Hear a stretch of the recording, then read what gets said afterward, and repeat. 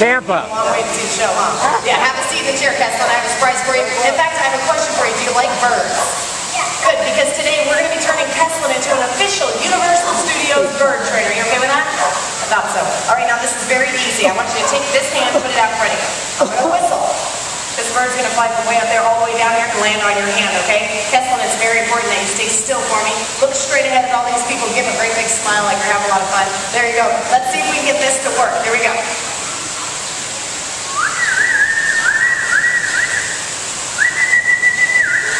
Here she comes, She's going to land right here on your... Oh, she missed. She missed. Ah. Don't move, Keslen.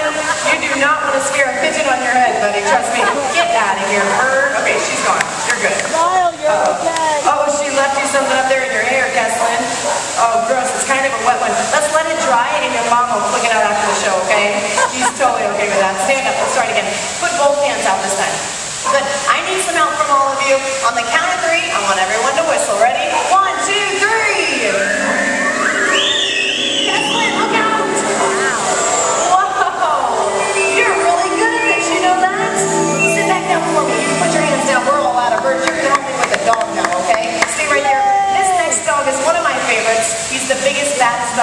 How about a nice warm welcome for Big Jake?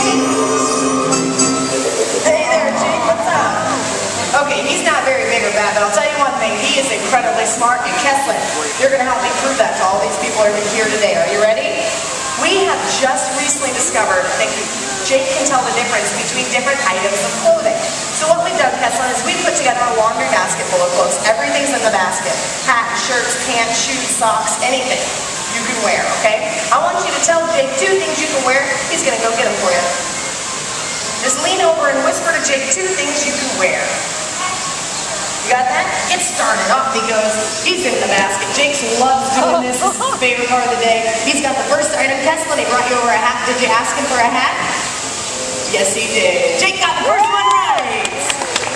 Well done, Jake. Here's treat for you. Okay, look at the second item. Now this is great, folks. Once Jake gets the first item, he's never missed a second one. Where did he go, Keslen? He went in the back and he's got, wait a second, you asked him for this? Folks, I apologize. I don't know where this came from. Oh no! Look what you did, Keslen. Hey, is yours? Yes. Let's give it back to out of here. Oh? Look how red he is. Wipe that smile off your face, young man. Who taught you to ask for something like that? My dad. I was kidding. Jake's just playing a little joke on you, Keslen. Jake, you were fantastic. You were a great dog. Let's hear it for Keslen, our newest animal trainer.